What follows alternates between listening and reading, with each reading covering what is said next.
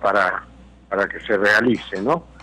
Pero en principio es mañana a las 10 de la mañana la autopsia, después tienen que expedir el certificado de necropsia, después se tiene que conseguir la partida de función de la municipalidad de la isla del Vidrio, porque ahí fue el accidente, eh, luego el certificado de embalsamamiento, posteriormente el sellado del cajón, o sea, son una serie de pasos que hay que dar antes de la repatriación. Estos procedimientos nosotros como consulado, sí. nosotros como consulado necesitamos todos estos documentos para proceder a levantar también el acta de función peruana y hacer el permiso de repatriación de los restos al Perú. Calculamos ojalá Dios quiera que para el martes esté todo listo, o sea que quizás el martes por la noche ya podrían estar viajando al Perú, ¿no? También depende del cupo, de los aviones, de los pasajes, etcétera.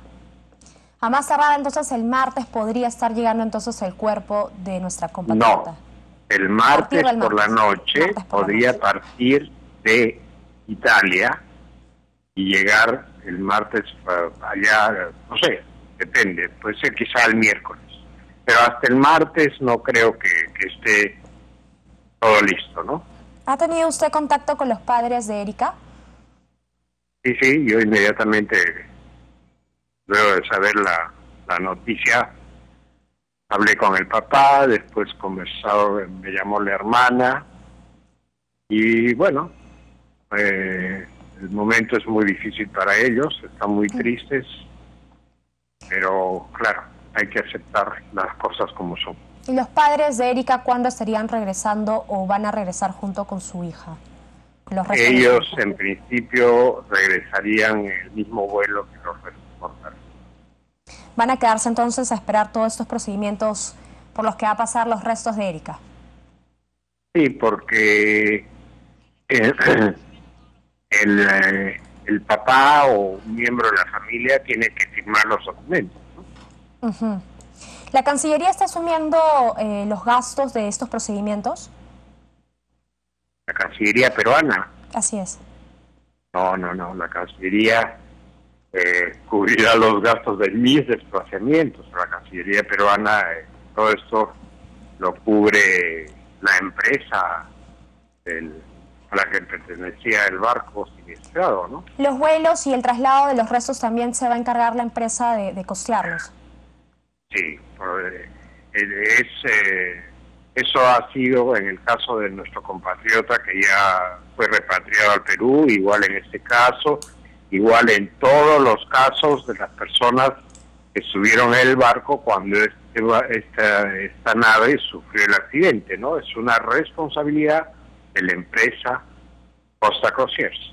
¿De qué manera eh, el consulado está apoyando a los padres de Erika?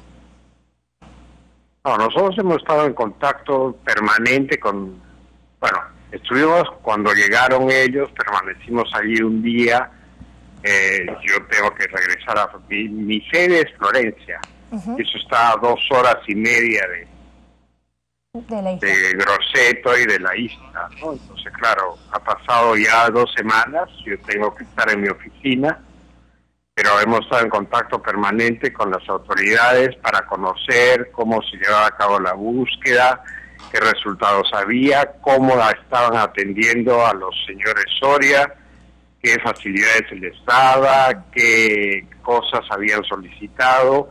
Ellos han tenido asistencia médica, asistencia psiquiátrica, eh, bueno, se les ha proporcionado todo lo necesario, ropa de abrigo, porque acá estamos en pleno invierno. O sea que realmente eh, la compañía personal mía, no necesariamente, pero sí eh, el permanente estar en contacto para ver cómo, cómo avanzaban las cosas. ¿no? Claro. Imposible estar yo allá porque no puedo abandonar mi oficina dos, dos semanas. Pero digamos que han tenido un papel representativo para con los padres de, nuestra compatriota fallecida en el crucero. ¿Cómo? ¿Han tenido igual una representación ustedes para con los padres? ¿Han estado acompañándolos de alguna u otra forma? No, sí, sí, nosotros, como le digo, hemos estado en permanente contacto con autoridades, representantes de la empresa y preocupados de que estas personas estén debidamente eh, acompañados, seguidos, con intérprete, auxiliados por, por eh, médicos, etcétera, para cualquier, eh, cualquier circunstancia especial que se pudiera presentar. Bien, gracias, cónsul.